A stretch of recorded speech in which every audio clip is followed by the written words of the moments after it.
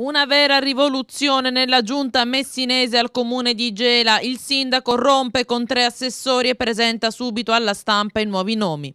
Licenziati dunque Pietro Lorefice, Chetti Damante e Nuccio Di Paola. Sentiamo dal sindaco di Gela che cosa lo ha determinato ad assumere queste importanti decisioni.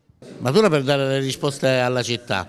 Eh per poter trovare quell'armonia all'interno della giunta che serve per raggiungere gli obiettivi.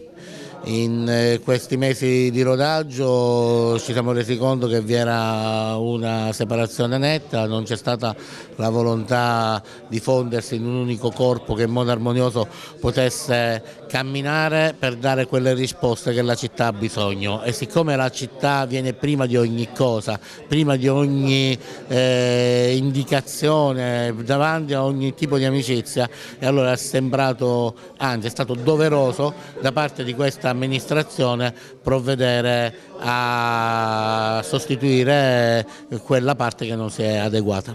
Questi i nomi dei nuovi innesti in giunta. Francesca Alicia Abela avrà delega ai servizi sociali e all'istruzione.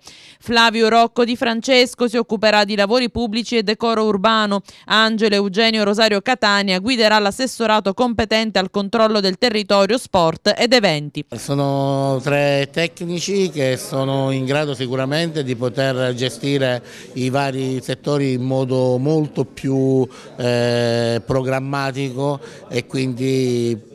per finalmente far partire alcuni settori importanti come i servizi sociali, come lo sport, come la sicurezza del territorio e come i lavori pubblici che sicuramente qualche problema in questi giorni ci sono stati. La nostra giunta è una giunta per la città e quindi quando come obiettivo principale c'è la trasparenza, c'è eh, l'onestà verso la città per poter risolvere i problemi in modo serio, questa sicuramente è una giunta pentastellata, a prescindere da quanto tempo una persona è più o meno militante, perché non è tanto il fatto di dire di appartenere a un gruppo o un altro, ma è importante le azioni che si fanno.